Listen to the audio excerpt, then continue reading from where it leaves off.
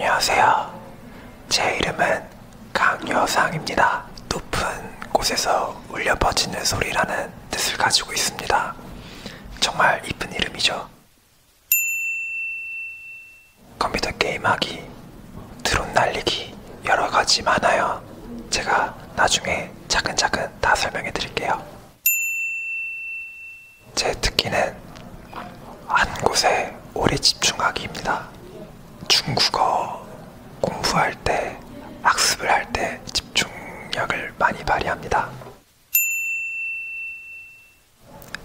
니하오，我的名字是姜瑞香，认识你很高兴。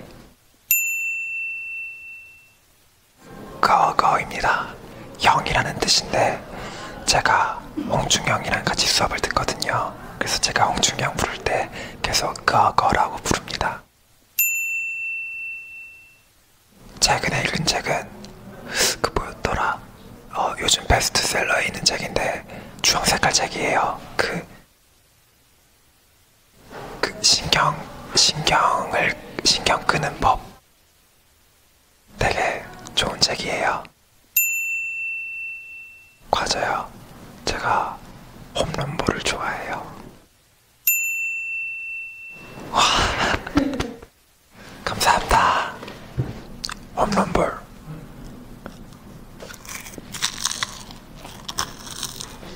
역시 홈런볼이네요. 엄청 맛있어요.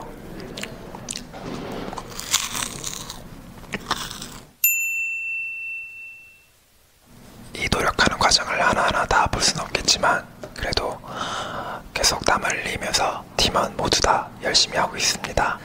그러니까 저희 모두 모두 이쁘게 봐주세요. 감사합니다.